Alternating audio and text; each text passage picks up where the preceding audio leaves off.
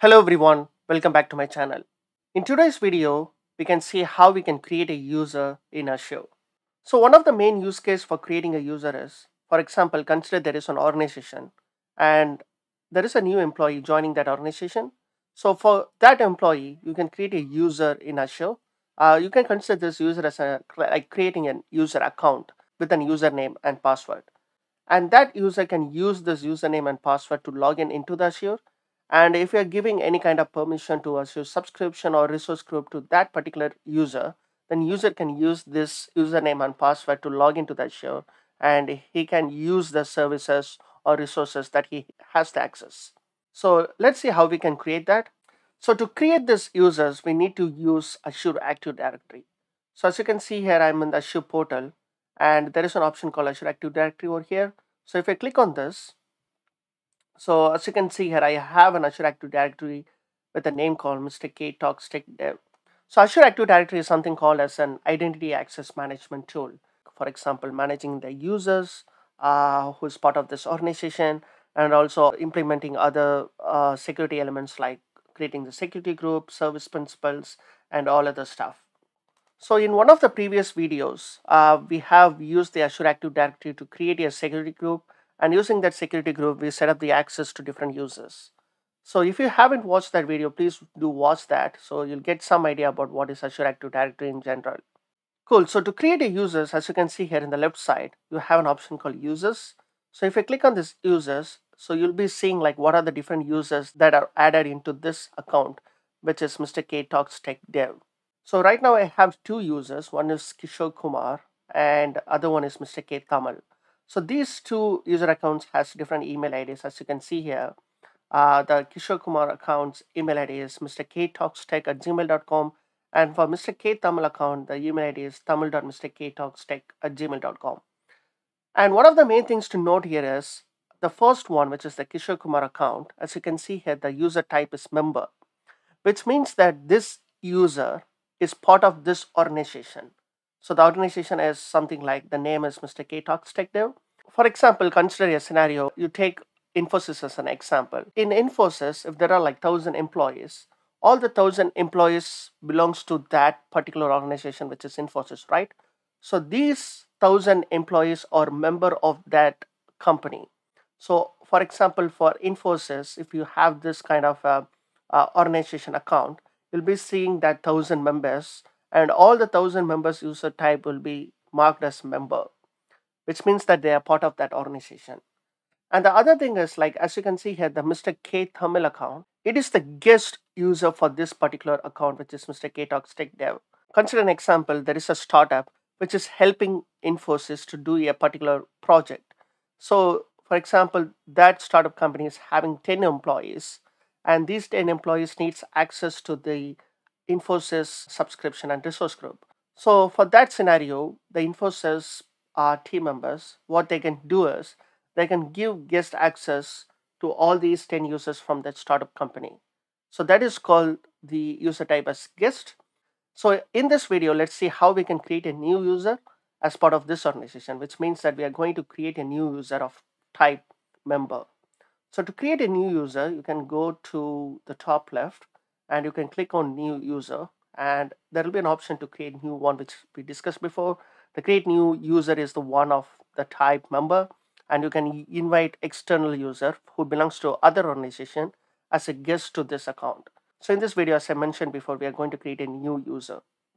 So i'm going to click on this new user. As you can see here there are two options. Since we want to create a new user we are going to use this option called create user and the next option is identity. So the first one is username. We can give a name like, uh, for example, Ajit Kumar. Cool. So I have given a username called Ajit Kumar, and this is a domain name. For instance, considering our previous example, this is like uh, infosys.com or something like that. Ajit Kumar at infosys.com. So in this scenario, our company name is Mr. K Talks Dev. So it would be like Ajit Kumar at mrktalkstechdev.onmicrosoft.com. And you can change this domain name and stuff, but I'm not going to explore this in this video. Okay, so we have given the username and now we have to give the full name. So for that, we can give Ajit Kumar, and the other ones are optional. So we can give Ajit. Last name should be Kumar. Cool. So now we have given the identity of that particular user. Now we need to give the password. So as you can see here, the password, uh, we have two options over here. If you want to create a new password by yourself, you can use this, or you can use the auto-generated password. So I'm going to use this auto-generated password. As you can see here, I can copy this password. So when a new employee joins in the organization, you have to give this initial password and also the username to log into the Azure and access all other services and stuff. So now we have given the password and the next step would be groups and roles. So this is like assigning a different kind of groups to the particular user that we are creating. So we have already seen this in the last video. Uh, for example, you can add this user, the Ajit Kumar, to any of the groups. For example, if you have a group called uh, dev uh, security group, which belongs to all the developers. So if you add this user to that developer security group, then uh, this user will have access to all the resources uh, where the security group has access to. So for example, I have a security group called dev group. So I'm going to click on this, which means that now this user will get added to this security group. Now this user, Ajit Kumar, will have access to all the resources where this security group is given access to, which is really cool, right? So you can have multiple security group, right? You can have a group uh, called developer group. You can have a group called uh, tester group. So based on the uh, new user's job title, you can add that particular users to whatever the resource group they are allocated and stuff, which is really cool. So now we have added the uh, group to the users.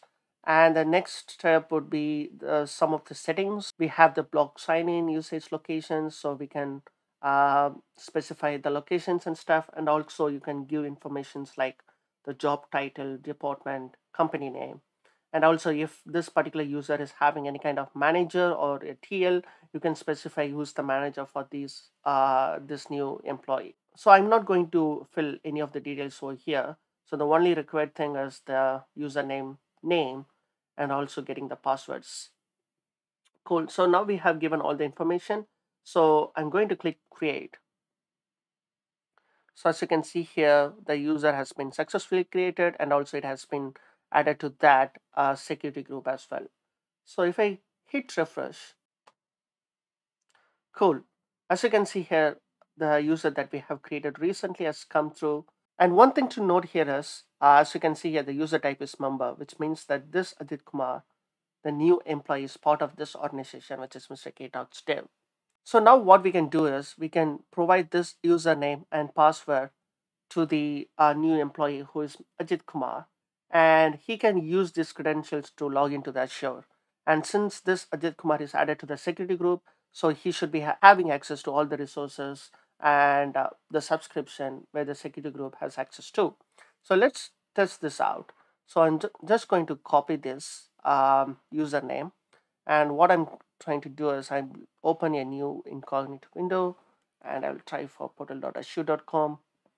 So I'll just paste the username for this and I'll click next. So it is asking for the password. I have saved the password and if I hit sign in, cool. For the first time, we need to update the password. So I'm just going to update the password. So I'm just going to paste the current password and going to give the new password. Cool. So I'm pasting a new password, confirm password, and I'm going to sign in. Now it is asking for the two-step authentication and stuff. So we don't want to configure this. So we can click on ask later and let's click on yes.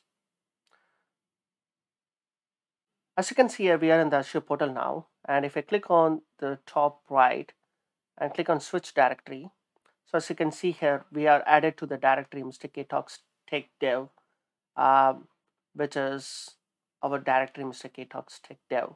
So now uh, this user, Ajit Kumar at Mr. K Talks Tech, should be having access to the subscription that we have, which is Azure Subscription 1, and he should be having access to the resource group as well, since this particular user is added to the uh, security group, uh, the dev security group.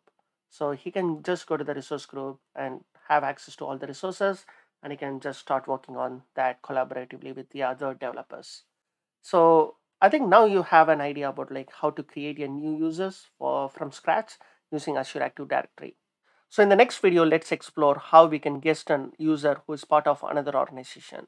So I think that's it for today. Uh, if you like the content, please like, share, and subscribe.